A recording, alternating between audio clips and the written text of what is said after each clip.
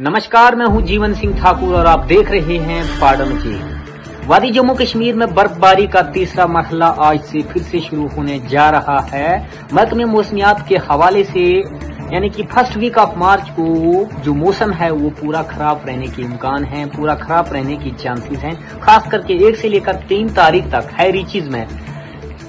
जो मौसम है वो करवट लेगा और बर्फानी तोते गिरने के चांसेस हैं। बर्फानी तोते गिर सकते हैं अवलांच आ सकता है और जो लोरी चीज़ के एरिया हैं, वहाँ पे बारिश के साथ साथ हल्की हल्की बर्फबारी भी हो सकती है। यानी कि पूरे जम्मू कश्मीर में जो है वो बारिश लगने के चांसेस हैं। अभी ये जो तस्वीरें मैं आपको दिखा रहा हूँ, इस खास रिपोर्ट में ये आप पाडर की देख रहे हैं। मचेल, गंधारी सुमजाम लिगरी और पलाली में जो बर्फानी तोते हैं, वो गिरना स्टार्ट हो चुके हैं। गुलाबगढ़, अठोली मसू ततापानी, कुंडल या करथे की बात करूँ तो वहाँ भी बारिश जो है रुकने का, थमने का नाम नहीं ले रही है। और जम्मू कश्मीर में जो बारिश है, उसने एक बार फिर से दस्तक दे दी है।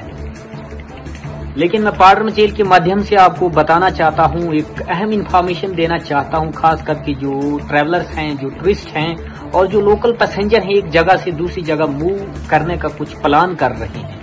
तो मौसम को मद्देनजर रखते हुए ही ट्रेवल का प्लान बनाएँ, अन्यथा आप किसी जोखिम में भी फंस सकते हैं, यानी कि आपका जानी नुकसान भी हो सकता है। खास करके अगर हिली एरियाज़ की बात की जाए तो वहाँ पे अविलांच आ सकते हैं और जो थ्रू गाड़ी की एक जगह से दूसरी जगह जाना चाहते हैं, वहाँ पे भी पस्सी आने के चांसेस हैं, पत्थर गिरने के चांसेस हैं और गाड़ी सकित होने के भी चांसेस हैं। तो ऐसा रिस्क ना लें, अपने घर में बैठें, सोच समझ के कदम घर से बाहर दें। हालाँकि तीन तारीख के बाद मौसम जो है वो क्लाउडी रहेगा, लेकिन आप उन दिनों में मूवमेंट कर सकते हैं। अगर दर्जे हरारत की बात की जाए तो इस फ़र्स्ट वीक ऑफ़ मार्च में जो मैक्सिमम टेम्परेचर है, उसमें भी गिरावट आएगी और जो मिनिमम टेम्परेचर है उसमें बढ़ोतरी होगी। अगर ओवरऑल देखें तो एक वाइट स्पेल फिर से देखने को मिल सकता है और ये जो जम्मू कश्मीर है, एक बार फिर से ठंडा हो सकता है, यानी कि मौसम ठंडा हो सकता है, ऐसा कुछ देखने को मिलने वाला है। तो पाडर मचेल,